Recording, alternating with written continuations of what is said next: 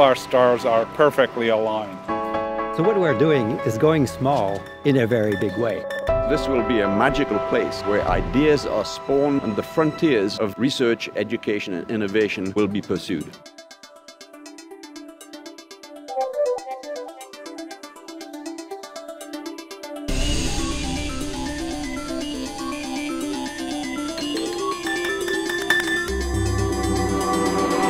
I feel very proud when I walk into the building. I'm very proud of our researchers. I'm very proud of our visionaries. I'm very proud of people who work tirelessly to make this day happen. When I see this building, I see the future of nanotechnology sitting in the heart of Waterloo campus. Walking into the building is, is really a wow moment. The beautiful architecture of this building leads to attracting people. The best researchers, the best postdocs, the best students from around the world will come here to Waterloo. These young people will be the leaders of tomorrow and the drivers of innovation in our society. Collaboration is absolutely essential to science. Science is far more social than uh, people in the outside world understand.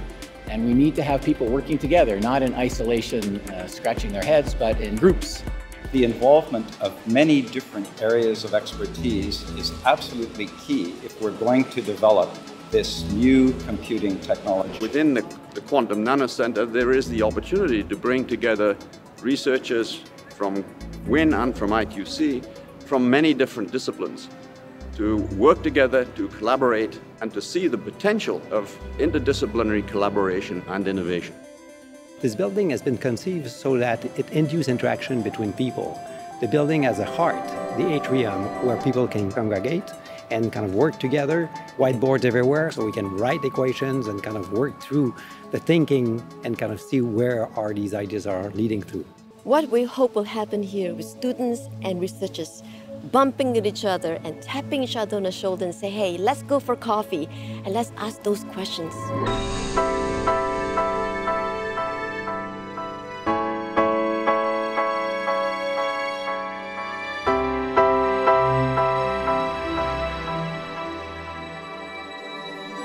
Since the 1960s, Moore's Law has uh, observed and correctly predicted in decades afterwards that computation will double in speed and halve in size every two years or so. That has carried on long enough that we're now down to the level where we can see individual particles. The technology of the 21st century really needs us to understand things at this level, uh, quantum level. It has the right specs for doing the experiments that we want to do. Very low vibration, very good temperature control, very good humidity control, very good electromagnetic radiation shielding. So on this, we can have the right environment to be able to control atoms, molecules that encodes quantum information.